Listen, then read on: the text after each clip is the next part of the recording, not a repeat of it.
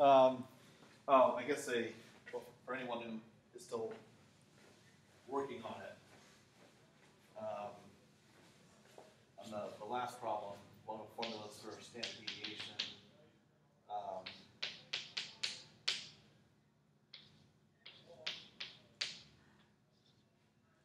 um, supposed to be parentheses around that. Okay. Um,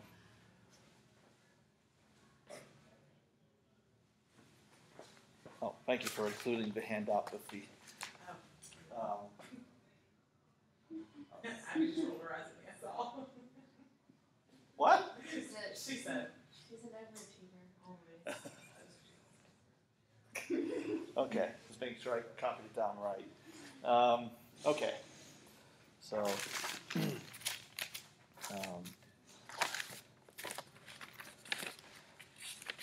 so continuing with direct methods, Gauss elimination, and all that good stuff.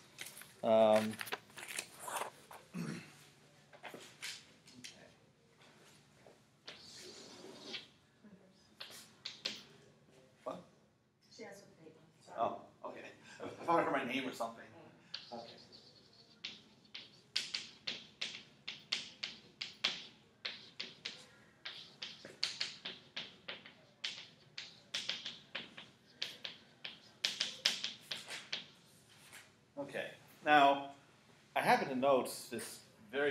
detailed round-off error analysis of Gauss elimination, which was transcribed from all the crap that Gene Golub did on the board, and so I can't be confident that it's even all correct. Um, and judging from past experience, if I actually go and cover it in full, not only will we fall behind, but by the end of class, you'll all have blood coming out of your ears. It'll be that painful to try to digest. Um, but I do want to cover like the essential points uh, from it. Um, okay, so um, because Gauss elimination had, I mean, it's something that we all take for granted, and from moment you learn it in linear algebra class, it's one of those things, one of those techniques you do like differentiation integration. But it seems like something that's really firmly established, but that hasn't always been true. Um, especially once these problems are being solved in computers, um, people believe that maybe Gauss elimination wasn't meant to be used on computers. Maybe it wasn't really stable, and that because you know even back then they were aware aware, aware of round-off error, um, that uh, maybe the accumulation of round-off error from all the operations ah, um, would be so great, or could be so great, that you couldn't even trust your answer. So there was a belief long time ago, and back in the 60s, that perhaps Gaussian elimination was not stable, uh, not numerically stable.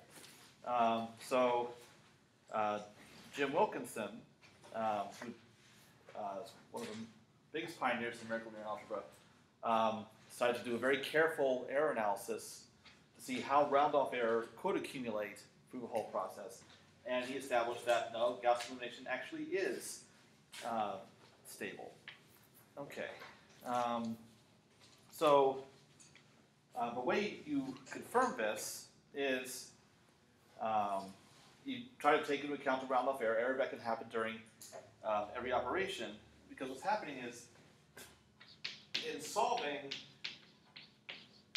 ax equals b, but doing so in a way that incurs round-off error, um, produces a solution that is, is not x. I'll call it x hat.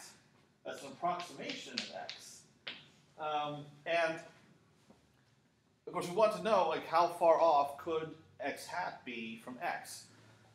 And the way we do that is we use what's called backward error analysis. And uh, what that means is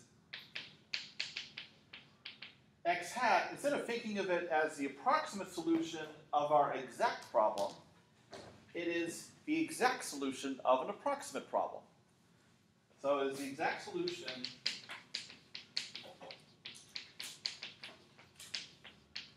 of what we call a nearby problem um, that I'll describe as um, okay.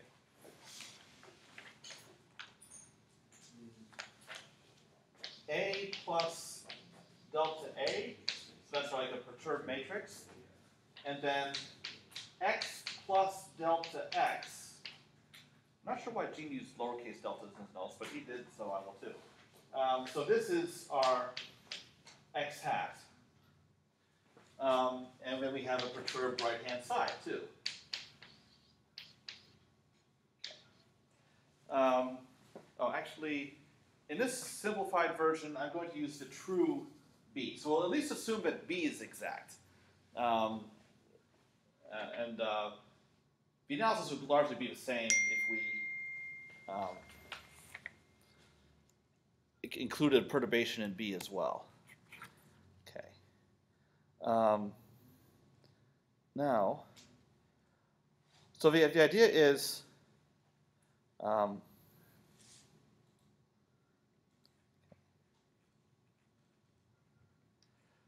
we, we need to get a handle on the, these perturbations. Well, this is the perturbation we really want.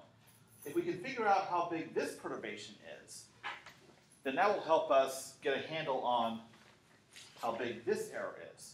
So that's what that's what backward error analysis is. You estimate the error you care about by estimating the error you can actually get a handle on. All right. Now, um, so how do we do that? We keep in mind what are the stages of solving ax equals b. So we um, compute the LU factorization of Gaussian elimination. Um, so, but it's a nearby. It's a, we get these factors, which I'll call L bar and U bar. So these are the LU factors we actually compute instead of the exact LU factorization of A. Therefore, these are the exact LU factors of a perturbed matrix. So this E accounts for round off error.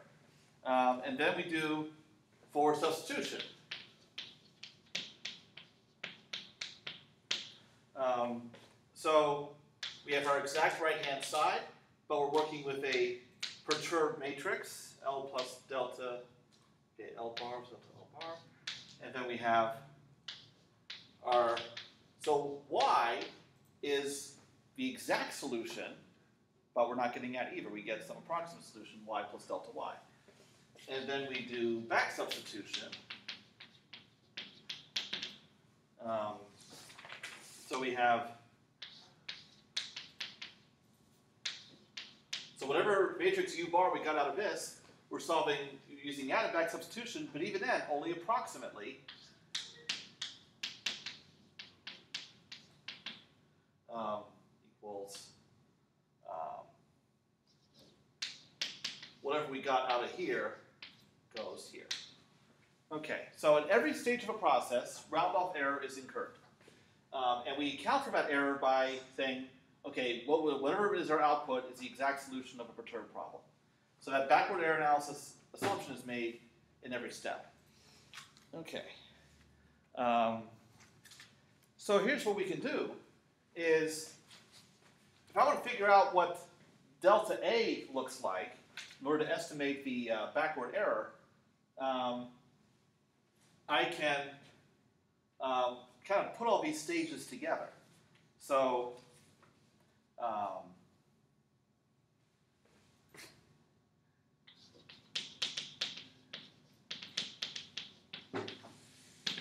Okay, so B is um, right. Well, I have this L bar plus delta L bar, and then I have this, which, but that is equal to this. So I'm replacing y plus delta y with what's on the opposite side here.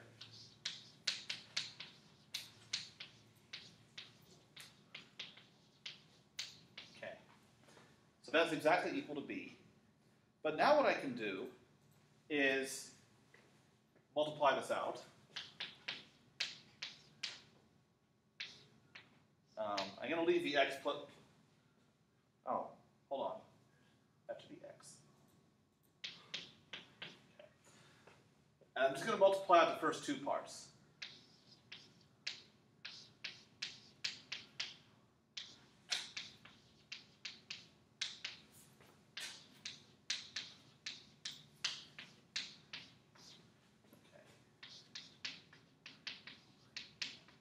Okay. And then L bar U bar, well, I have that up here, so that's A plus E.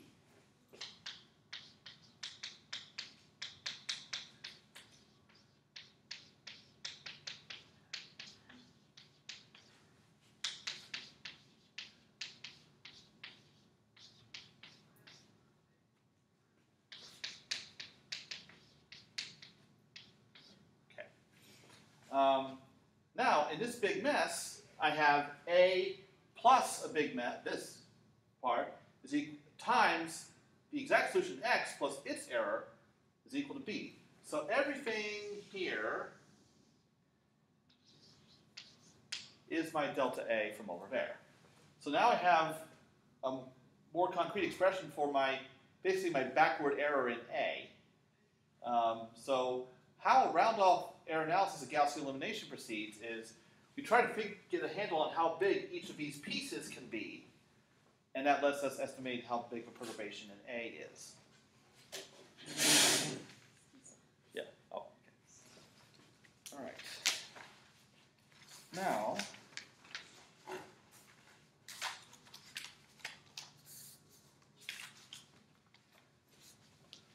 Okay. Now, at this well, first any questions? All right. Now, here's where I gloss over some things. Um, but again, I just want to hit the essential points.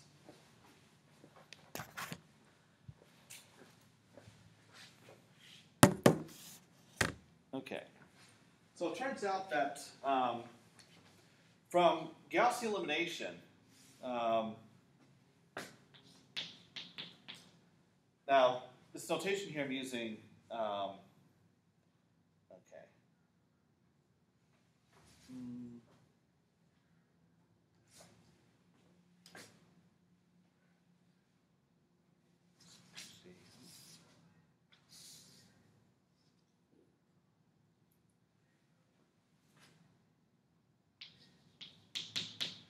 Look at bound. So it's E is a matrix, so we have bound each of its entries. Um, we can say that's uh, bounded by um, 1 plus L G. I'll explain all these symbols in a moment. Um,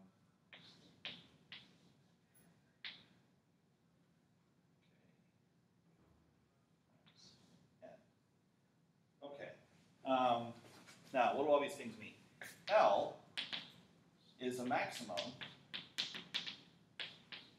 of all the multipliers used in Gaussian elimination. A little later, hopefully I get to it today, I'll cover, well, actually what I'm supposed to cover today is pivoting. Um, and here we'll actually be able to come up with a bound for this. Because right now, ordinary Gaussian elimination, we have no idea how big these things can be. They could be arbitrarily big, and that's a problem. Um, okay, uh, little a is just the maximum size of all the entries of your original matrix A. Um, and then U is the round off error. Um, when I cover floating point arithmetic, um, it's, it says basically the smallest um, number you can add to 1 and still get something greater than 1 in the floating point system. So it's roughly in IEEE, roughly 10 to the minus 16. Um, and then G is the most mysterious of these things. It's called the growth factor. And that is defined as um,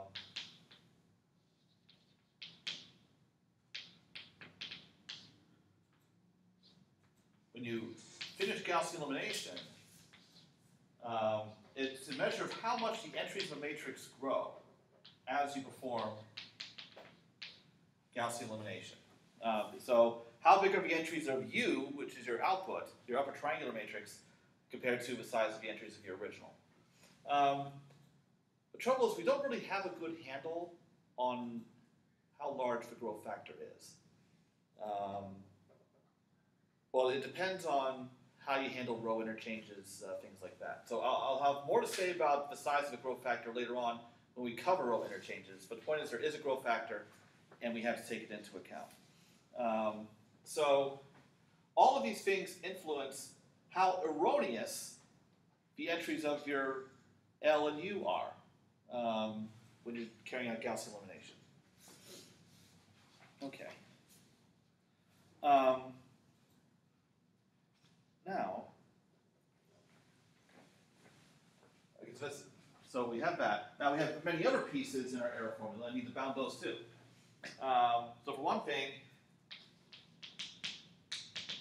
the largest entry in our error in L,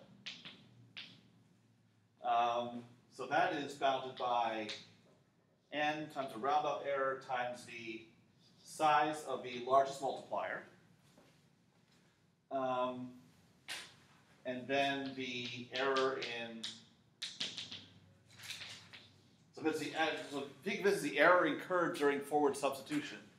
The backward error incurred during back substitution is bounded by n times roundoff error times the growth factor times the size of the entries of A. Um, now the reason for the um, n in each of these is uh, when you're performing forward or back substitution, you have expressions that have up to you know, around n terms in them, you know, n floating point operations going on, so that uh, allows up to n floating point errors to accumulate um, in computing any of the unknowns. okay. So we see the larger of a matrix, the worse it gets. Okay.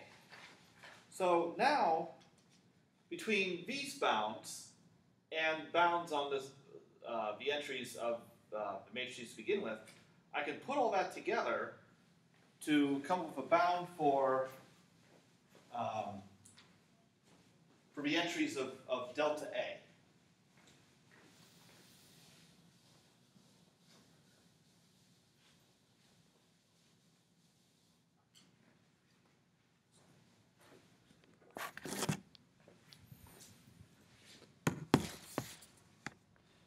Okay.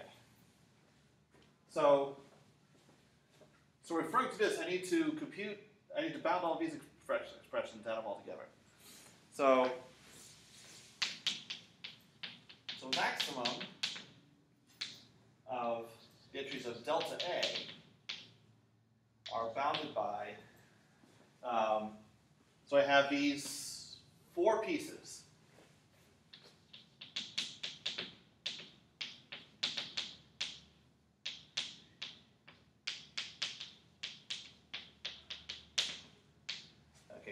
Piece is delta L bar times U bar.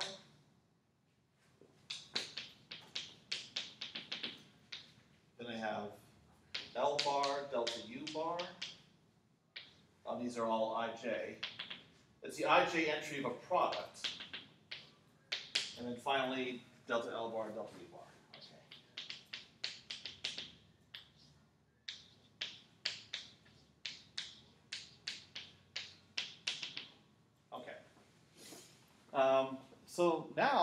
I can start filling in what I know about these pieces, and hopefully it agrees with what's in my notes.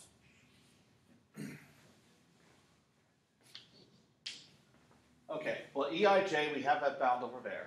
So that's 1 plus L G A U N. Okay.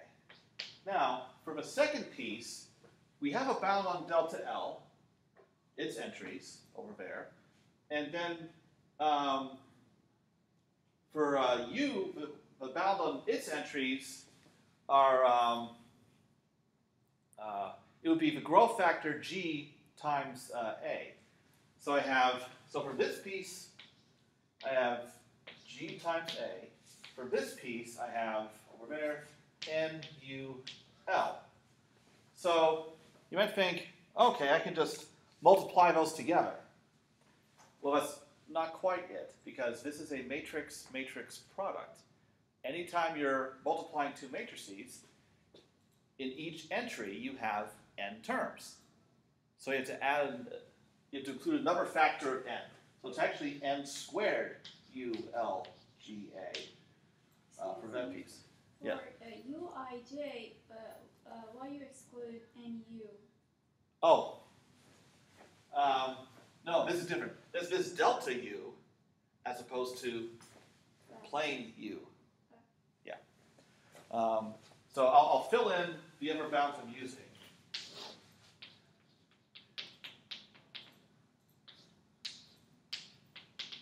Uh, so this is bounded by um, GA, and then for L,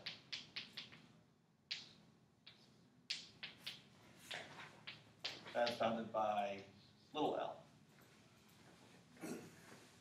Alright, so all of those will be enough to put together the rest of these.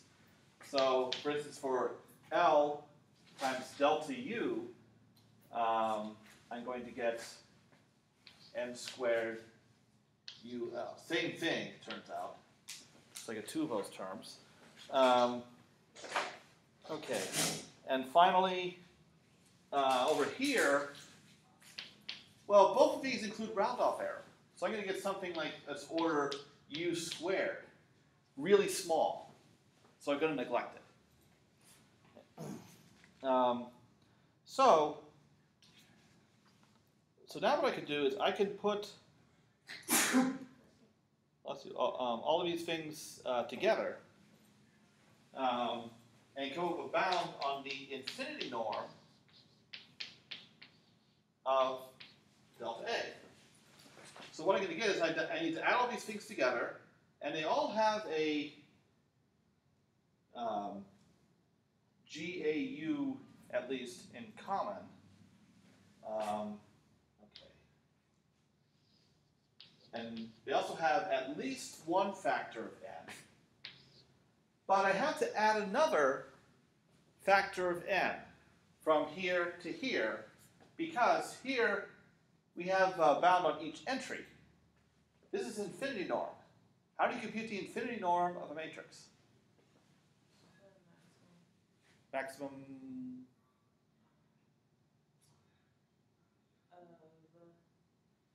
Isn't it the sum, maximum of the? some, w- y- yes, what, some, summing what?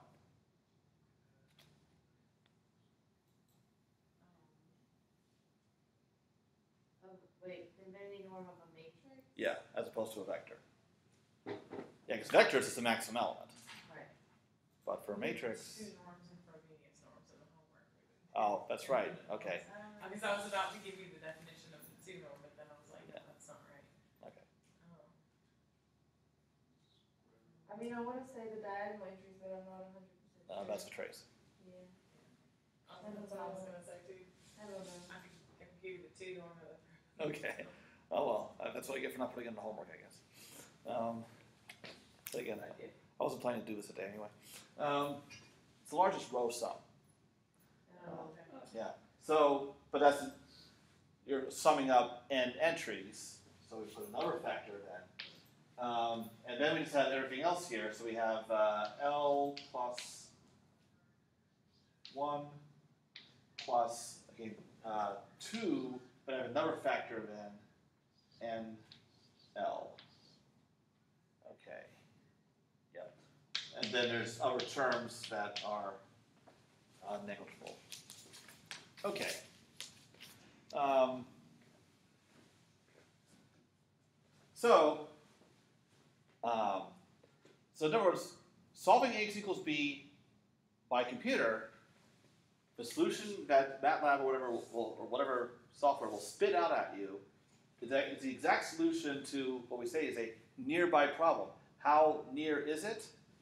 This, but that can still be pretty big, unfortunately. especially if a matrix is large, if n is large, if your growth factor is large, what you're hoping for is that this u, this round off error, will be so small compared to everything else, it'll overwhelm everything, um, or maybe underwhelm everything, so that the whole expression is still pretty small. But we see that there are many things that could influence um, that. But finding a bound on delta A is not the end game. We want a bound on the error in x.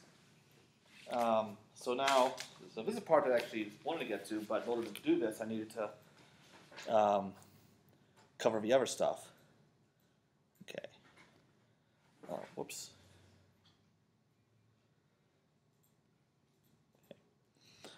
All right. Um, so now for bounding the error in the solution, x hat, which is expressed as x plus delta x. So it's really delta x that we want to try to get a handle on. Okay, so um,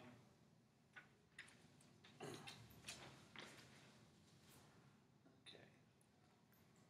Mm. All right, so x hat is a plus delta a inverse b. Um, since x has the exact solution of our nearby problem.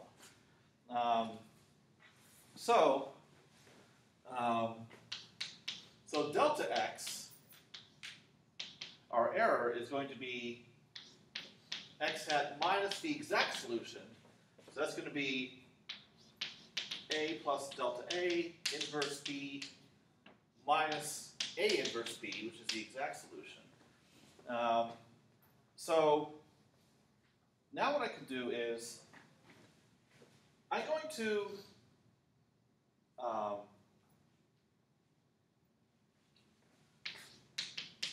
rewrite this. I want to factor out an a to the left. So that's a times identity plus a inverse times delta a. Um, and the reason why I want to factor out to the left is so that I can say a plus delta a inverse is, because the inverse of a product is a product of the inverses in reverse order. So I have i plus a inverse delta a inverse times a inverse. So this lets me factor out an a inverse b to the right. Um, okay. So, um, all right, so now I can continue um, with this. So what I have is, okay, so I'm going to have i plus a inverse delta a inverse um, a inverse b minus a inverse b. Okay. Um, and then.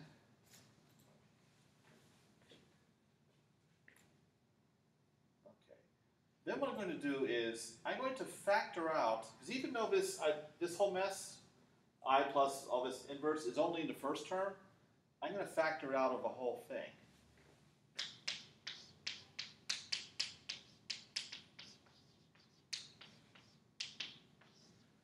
So then what's left is going to be A inverse. And then I'm going to factor out a B to the right. And then because I factored this out of this term also, I have to put its inverse back in. So I put this in without the inverse. Okay. Um, and uh, what that allows me to do is cancel some things. Um, so if I distribute the A inverse through here, I have this A inverse, and then that's going to cancel. So now all I have left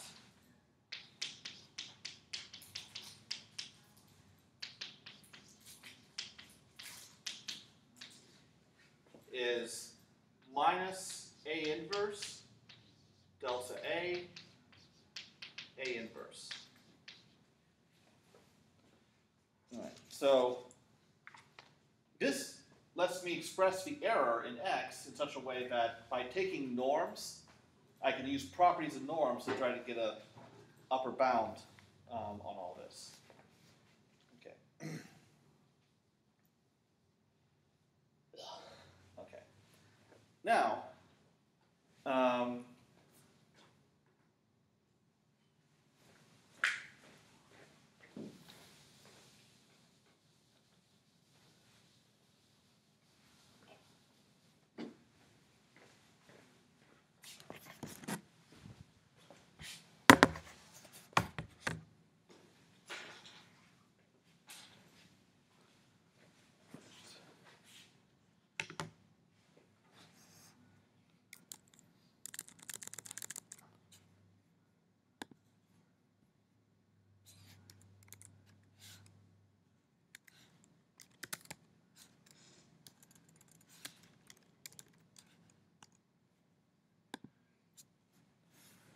Okay. Now, for- sake of this analysis, I'm going to make this assumption here that, um, okay. And find R to be the norm, whatever norm I'm using, of A inverse times delta A. Um, and I'm going to assume that this norm is uh, less than 1. Okay. Um, let's see.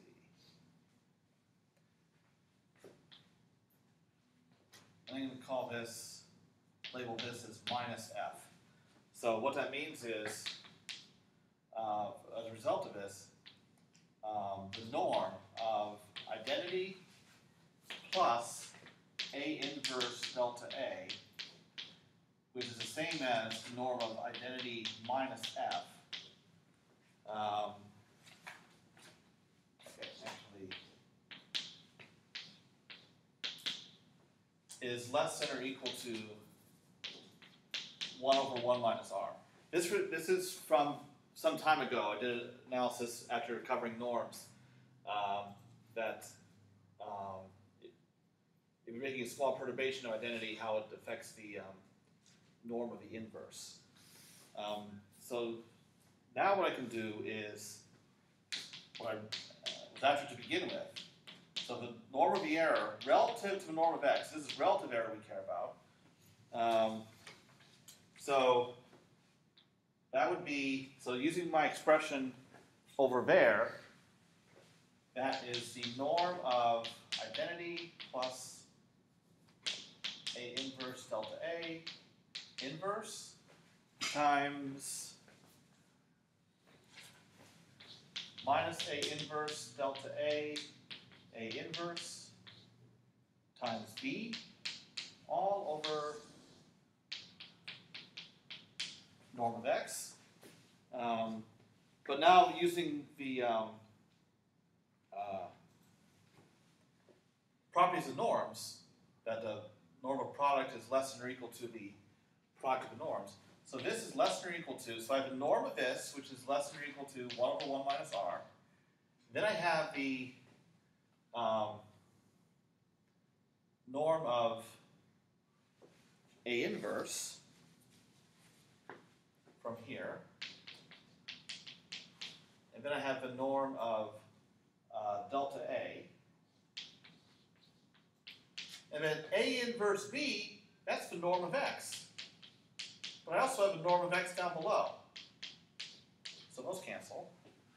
Um, and then, um, as for the uh, delta A, okay. Um,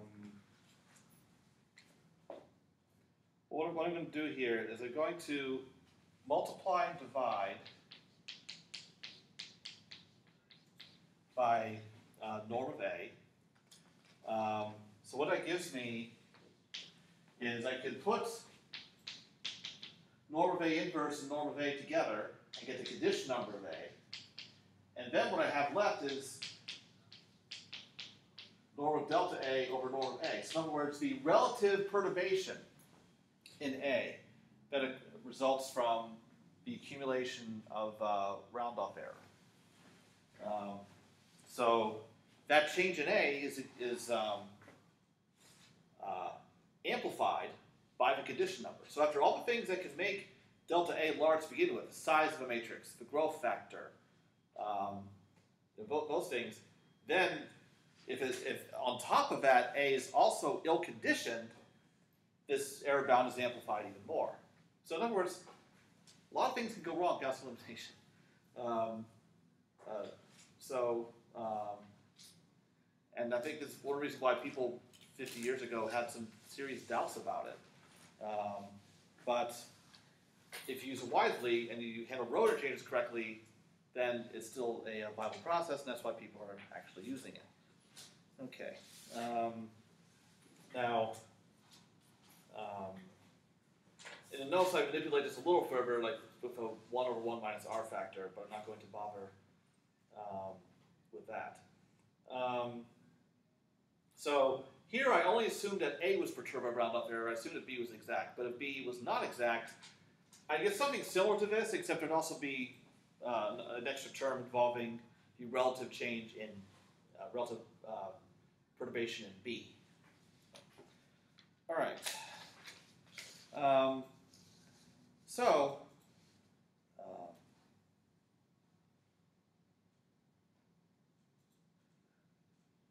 so the thing is, this expression delta A, that's of order U. We use a round-off error. So what matters is not just is A ill-conditioned or not. What really matters is how large is the condition number relative to the round-off error. So if um, uh, suppose the condition number is 10 to the 10th. So if you're using um, uh, regular double precision floating point arithmetic, where we use 10 to the minus 16. And on top of that, A is a large matrix, so you get powers of n to deal with, then your solution is not going to be very accurate. But if you're using like extended precision, so maybe your U is like 10 to the minus 50, um, then using the same matrix, um, you're going to be okay. You're going to get a nice, accurate solution. So it all depends how much precision you have available and the conditioning of the uh, uh, matrix. Okay. There any questions about this mess? All right. Now, um, so thing to focus on now is uh, there's a couple variables in here. There's this variable g, the growth factor. We want to keep that in check. And also uh, little l, the size of the multipliers. If that's big, again, we have a problem, even if everything else is okay. Um, so we need to look at um, uh,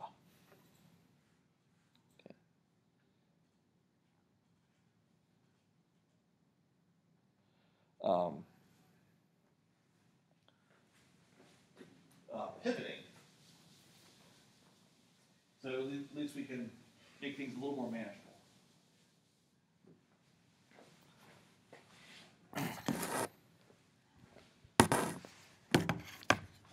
Okay.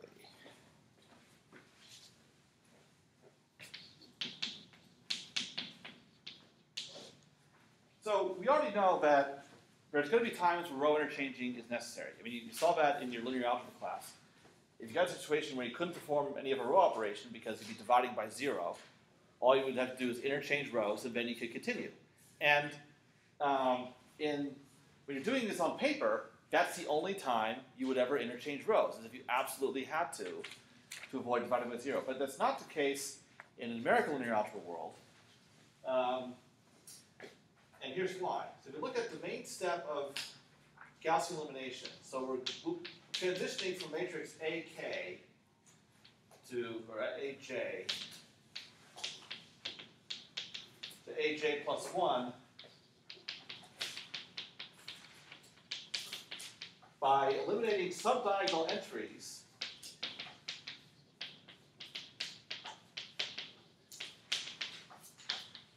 in in column J. So if I write out the main step in Gaussian elimination to eliminate entries in column, column J, you have this multiplier, Mij, and you multiply that by some entry in row J, column K, and then you subtract that from the entry in the same column K, but row I. And then the result of that is stored in the same place, but we call that a j plus 1. Now, we have to assume that every entity in here has some round off error in it. Um, so, but here's the problem. This entry um, is a result of pre- working on previous columns. So this has some round off error. That round off error is amplified by this multiplier here.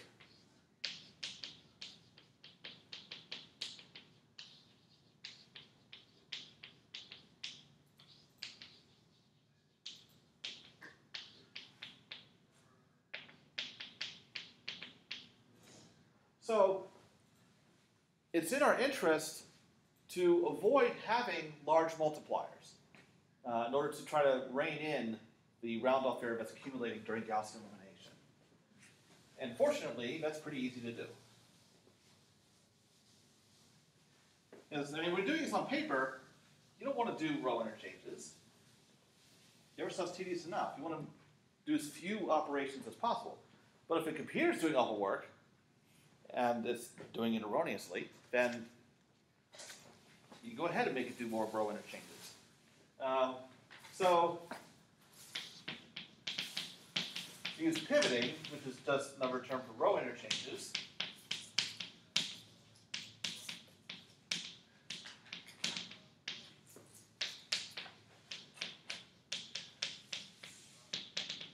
To limit the size of your multipliers. Um, there's, there's many pivoting strategies out there. I'm just going to focus on a couple. The most commonly used is partial pivoting. Um, so what you do is um, at uh, at each for before you start working on each column,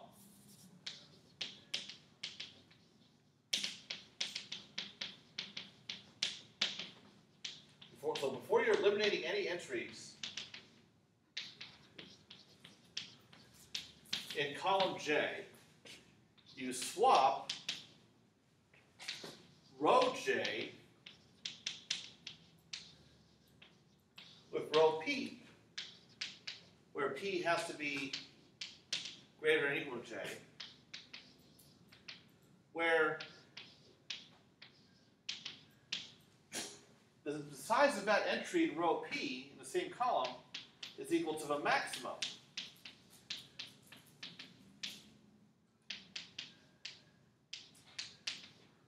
over all entries in that part of the column, from the diagonal all the way down. Okay. So, in the part of a column of interest, from the diagonal to the bottom, you find the largest entry in absolute value, and you swap to move that entry to the diagonal position.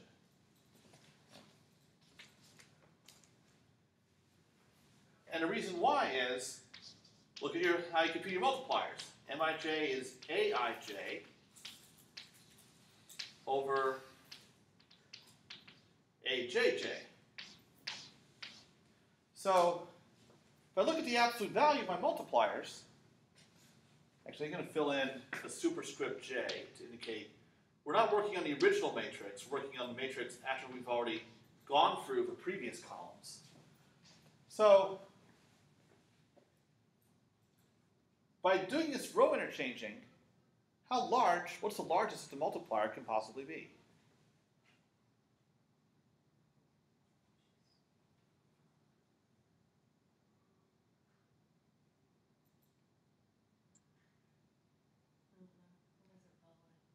Okay, so I'm looking at a certain portion of a column, I'm finding the largest entry in here, and I'm moving to the diagonal position. Right. So once I do that, what happens to the size of, of these?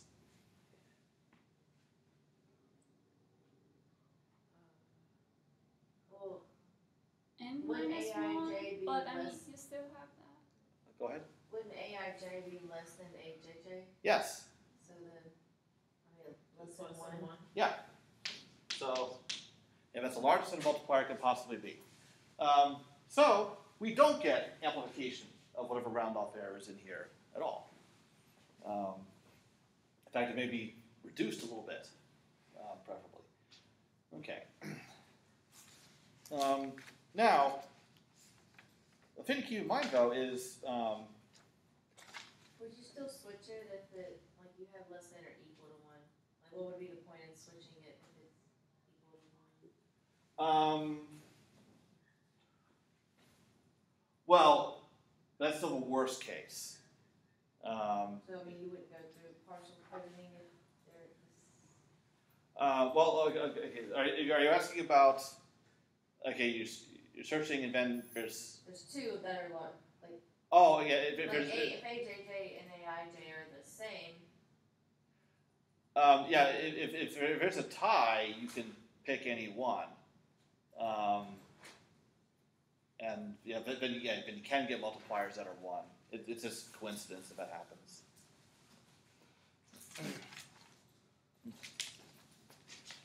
Okay. Um, now, even though there's no computation performed to do this, there's still work being done because you're doing a comparison. So, um, so doing all this costs order n squared comparisons. So we can't ignore that in terms of judging efficiency. However, order because you're doing you know nearly you know n comparisons in the first column and n minus one in the second and so forth, but it adds up to order n squared. Um, but Gaussian elimination in general costs two thirds n cubed floating point operations, so it's still far greater than the overhead of, this. So it's worthwhile uh, what you gain from reducing the accumulation of round off error to do this relatively little extra work um, to uh, make that happen. Um, now, what this means is um, we can uh, now, we, in this case, we can quantify the uh, growth factor. So, so as a result of this, uh, okay, so little l from the round off error analysis is 1, the bound bounded the multipliers. And then g, the growth factor, is 2 to the n minus 1. So it's still bad. Um, so there are, certain pathological cases where you still get a lot of accumulation of round off error. Uh, you can construct a matrix for which you actually get that growth factor of 2 to the n minus 1. Um, so I wouldn't necessarily say, that could occur in, in nature, but um, but the point is, theoretically, uh, significant growth in the entries of u is still possible. Okay, so that's one pivoting strategy. And then the other one um, takes things a step further.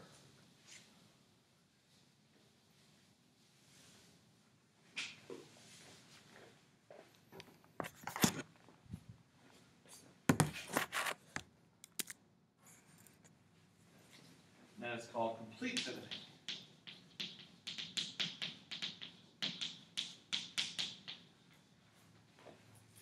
So what happens in complete pivoting is um,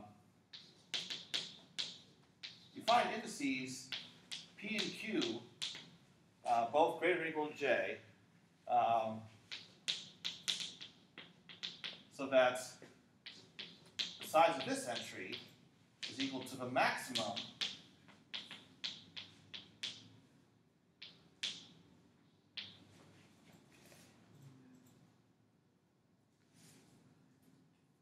Oh.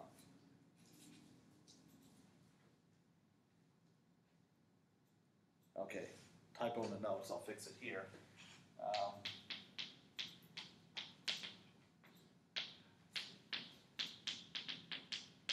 So, I need you to draw it.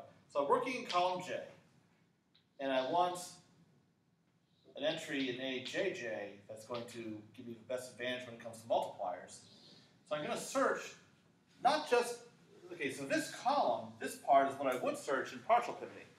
Complete pivoting, I search this whole region of the matrix. Um, so uh, find somewhere entry APQ that is the largest in this whole sea of entries, and I swap uh, rows and columns uh, to put this entry in the JJ position. Um, so once you find this entry, once you find um, the entries P and Q, you swap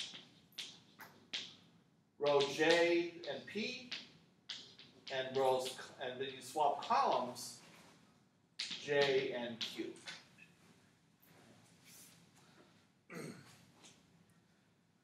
Okay. So that has so you um, so in that case your multipliers for this column, uh, depending on where this entry is, could conceivably be, be bounded uh, even less than one. Um, so you, you gain something there. Um, but you're doing more comparisons. So it's order n cubed comparisons. So now that, that's, that's much more significant. Um, what do you gain from that? It reduces the growth factor. Now, unfortunately, we don't really know what the growth factor is. It's not exponential like it was before partial pivoting. Um, it's a matter of conjecture. Like it was conjectured that the growth factor in this case is uh, bounded by n, but that's not true. Uh, they found a counterexample. Um, so but at least we can say that the entries of u do not grow exponentially compared to uh, the entries of, a. Um, so more overhead, but the numerical stability of Gaussian elimination is greater with complete pivoting than with partial. Still, like in like real software, like in MATLAB, partial pivoting is still generally what's used.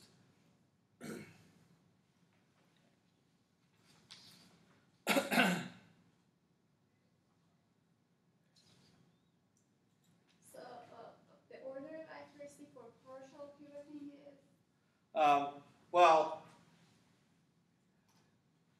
what you could do is the, the error estimate with complete pivoting would be less, just because that error estimate is related to the growth factor, and now that is smaller.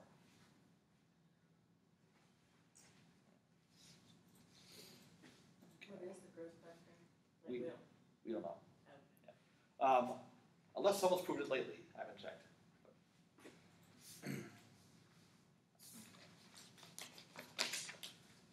Okay. So now that we have pivoting, using some form of pivoting, um, and for the rest of the discussion, I'll just assume partial pivoting so that we're only interchanging rows and not columns. How does this affect the, um, the whole process of uh, solving AX equals B? So there's some slight changes there. Okay. Um, unfortunately, what I have uh, for the decomposition on page 83 is a little bit incorrect. I fixed that somewhere else, but so I'm, just, I'm not going to use that. Um, instead, it's more instructive to look at uh, the algorithm. So I'm going to recall what the algorithm was, and I'm going to make necessary changes to account for pivoting.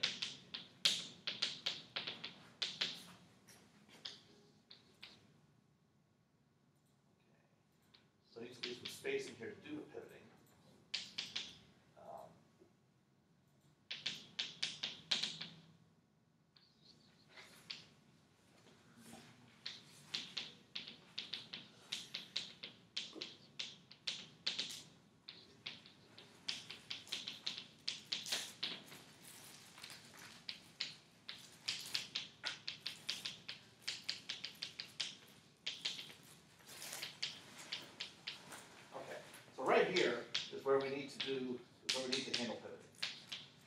Um, we swap row J with row P that A Pj is equal to the maximum.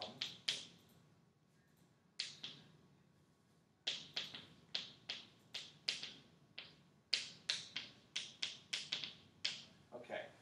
Um, but here's the important wrinkle. Because keep in mind, at this point, chances are we've already made some eliminations in previous columns. And what are we storing in those columns? We're storing multipliers now, because those are the entries that are being zeroed. But as I mentioned before, for LU factorization, we stuff the multipliers in that lower triangular part as we eliminate. So here's the important thing. When you do a row swap, you might think, oh, well, we're working on the matrix from column J forward, we only need to swap those. But actually, it's not true. You swap the entire rows, including whatever multipliers might be in them. Um, because um, if you're doing a row interchange, um, that part, like where was what, what, row, because those were multipliers corresponding to certain rows. If the rows are moved, the multipliers need to move with them. Um, so, so, so it's very easy to take care of in code. Just swap the whole thing and everything will work out beautifully. And that makes for a much simpler process that I can now describe for solving the Ax equals b. So, um,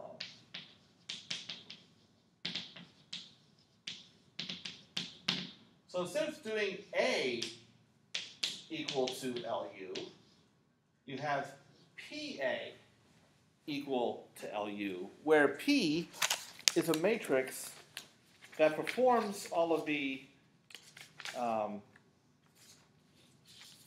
that's weird. Why don't I have this in here? Oh, okay. Um, where P is called a permutation matrix. And the way you get the permutation matrix is you, whatever row interchanges you needed to do,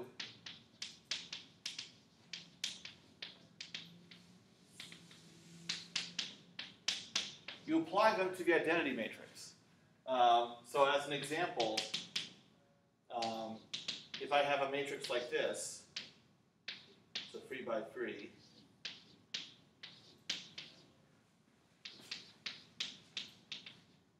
All I've done here is you swap rows two and three. So you multiply that matrix on the left with A, it'll swap rows two and three of uh, A. Um, by the way, a um, permutation matrix is an orthogonal matrix. Uh, so B transpose P is identity. Um, so, so the nice thing is, even though you're coming up with these row interchanges in the middle of a process, like you swap and eliminate some entries, then you swap again and eliminate some entries, that is equivalent to if you just did all the row interchanges up front. When uh, you can't do it because you don't know them until you've worked your way through it. But it's almost as if you did because you interchange the multipliers too. So as long as you do that, then this works. Um, so now, for the next step, you have, uh, before you had back forward substitution, Ly is equal to B. The only change is now you do Ly is equal to PB. Because you're taking Ax equals B and you multiply both sides by P. That's why you need to do this. Um, and finally, um, same back substitution step, uh, no change there.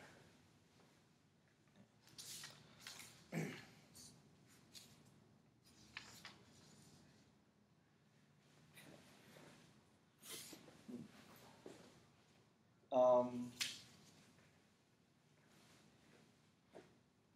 oh, and I should mention, because I, uh, last time I talked about determinants. Um, so that's influenced a little bit of uh, pivoting because when you swap two rows of a matrix, does anyone remember what that does to the determinant? Yeah, it negates it. So the determinant of A, before it was just a determinant of U. But now we just take into account the negation. So minus 1 to the s power, where s is equal to the number of row interchanges you needed to perform. Okay. Um, so still pretty easy to uh, get determined once you perform Gauss elimination, pivoting or not. Um, if you were doing complete pivoting, it would be number of row swaps and columns uh, uh, because either kind is going to change the uh, sign of the determinant. Okay.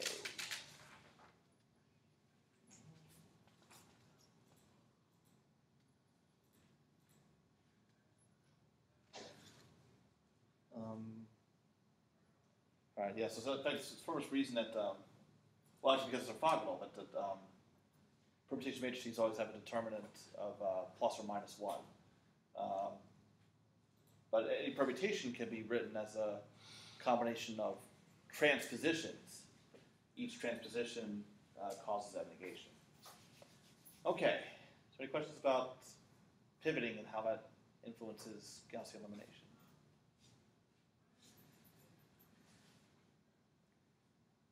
Okay.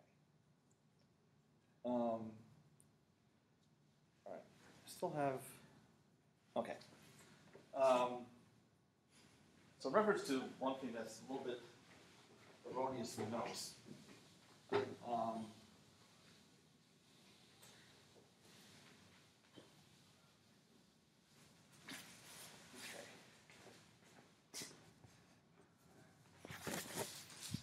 So I want to address that because what happens um, when you're doing partial pivoting?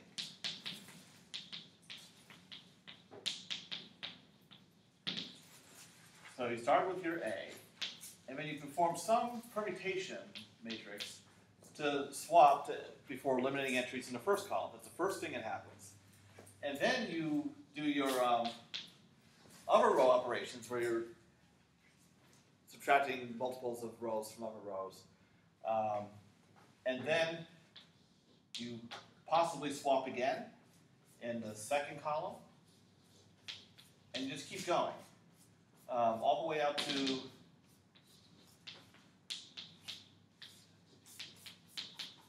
okay.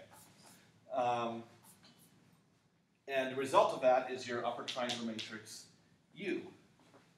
But the thing is, this doesn't look anything like uh, something that will lead to PA equals LU because in PA equals LU, we have all the permutations together up front. And here, you don't have that. They're interspersed. So um, so, so what so what can you do? Um, so, so what I'll do here is I'm going to insert um, the second permutation, but I need to compensate for that by putting its transpose. Okay. Um, so now I can write this as U is equal to A, and then I have P1, first row interchange, P2, and now I have this next matrix, M, or P2, M1, P2 transpose. So I'll group those together, and after that I have um,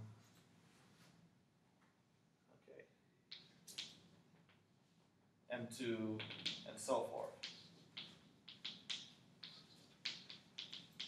Okay, so now we'll take a look at this. So what we have here, this is a, um, here we, the M is a unit lower triangular matrix, and then we have permutation matrices on both sides. This one is swapping rows, and this one is um, swapping columns. Um, now,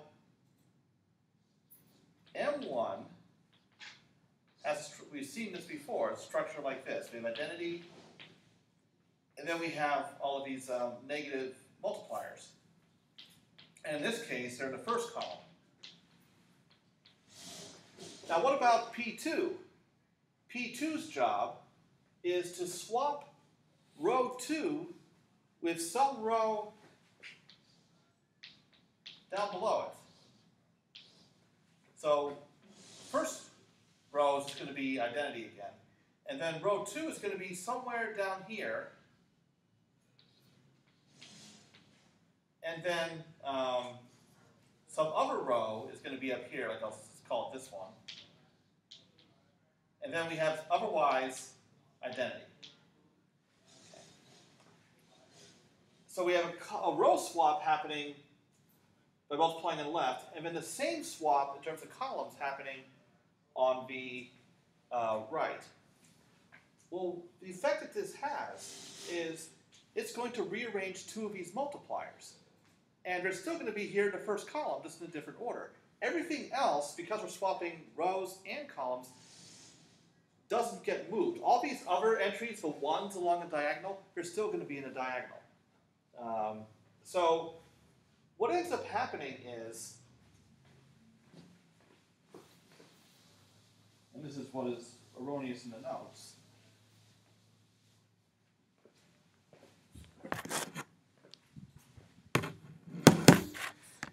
You actually have u is equal to a, and then you have p1, p2, up to pn minus 1, and then you have different m's. Um, m1 tilde, m2 tilde, where each of these new m's is one of the previous m's with some rows interchanged. Um, well, actually, only multipliers interchanged, not the entire row. Okay, so this right here makes L inverse. This right here is P. Um, so, uh, so by adjusting the order of the multipliers in the appropriate column, um, that's how we can rearrange it so that all the row interchanges happen up front, and we get that PA equals LU thing going. I just wanted to take a moment to show you where that comes from. And wow, I'm exactly out of time right now. Okay, so I'll pick up with. I'm, I'm slightly behind, but it's not really a big deal.